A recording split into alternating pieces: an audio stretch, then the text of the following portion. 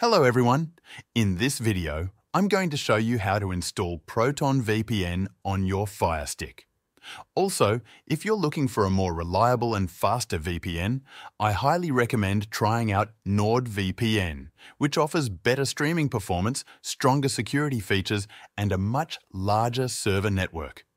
You can find a special link in the video description to get NordVPN at a great price. To begin the installation process of Proton VPN on your Fire Stick, start by getting the app from the Amazon store.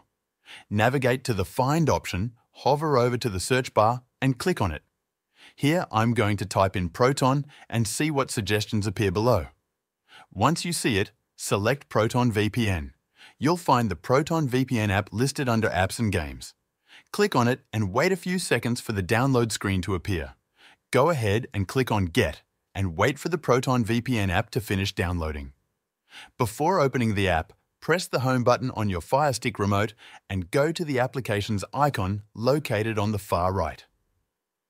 Look for the Proton VPN app, and before launching it, press the Options button on your remote and choose Move to Front. This step ensures that the Proton VPN app is easily accessible at the front of your apps list. Open the app and select the Sign In option.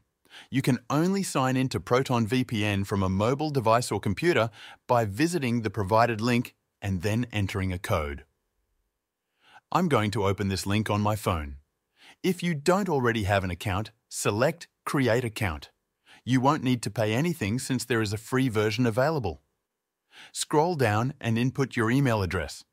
Once that's done, click Sign up for free, then choose Continue with free VPN. Next, click Start using Proton VPN. Set up a password or use one of the suggested passwords provided by the app, then click Continue.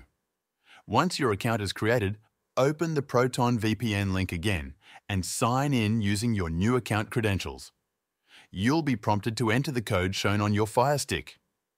Enter the code and press Verify Code. Once your device is connected, the Proton VPN interface will appear. You'll notice that each country on the interface indicates whether the server is free or not. As an example, I'll connect to a US server to demonstrate how the connection works. Confirm the connection by pressing OK.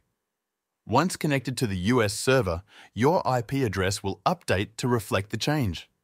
While Proton VPN is a solid free option, it does come with some limitations, especially in terms of speed, streaming access, and the number of available servers. If you're someone who streams often or you want a smoother, faster, and more secure experience, NordVPN is definitely the better alternative. With blazing fast speeds, dedicated servers for streaming, a strict no logs policy, and access to thousands of servers worldwide, NordVPN outperforms ProtonVPN in almost every category. Plus, it works great with platforms like Netflix, Disney Plus, and Hulu. There's a link in the video description where you can try NordVPN for a great price. Definitely worth checking out if you want the best performance.